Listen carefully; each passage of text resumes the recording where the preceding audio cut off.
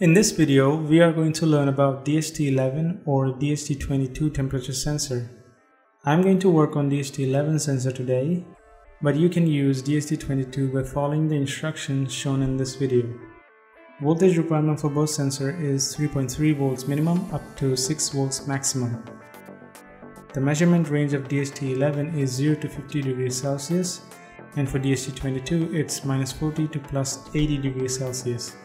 Temperature accuracy for DHT11 is plus and minus 2 degrees Celsius and for DHT22 it's plus and minus 0.5 degrees Celsius. The sensor has 4 pins. First pin is VCC which goes to 5 volts on the Arduino. Fourth pin is ground which goes to ground. Second pin is the data pin which you can connect on any digital pin you like. I'm going to connect it on pin 10. We need a 4.7 kilo ohm resistor between data and 5 volts to pull the data line high. Pin 3 is not needed and that's about it for the wiring. We're going to need a library for this sensor which you can download it from the link in the description. After that, go ahead and import the library and open the DHT tester example sketch. Now we need to modify the sketch for it to work. First, change the defined DHT pin to the digital pin where you have connected your sensor.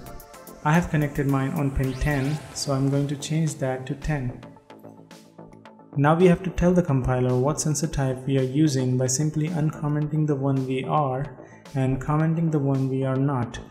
In this case, DHT type DHT11. Now we are ready to upload. By opening up the serial monitor, we can see that a sensor is showing the humidity and temperature. I wrote a simple code that can display the values on the 16 by 2 LCD. The code is very easy to understand and you can find the link in the description to download this code.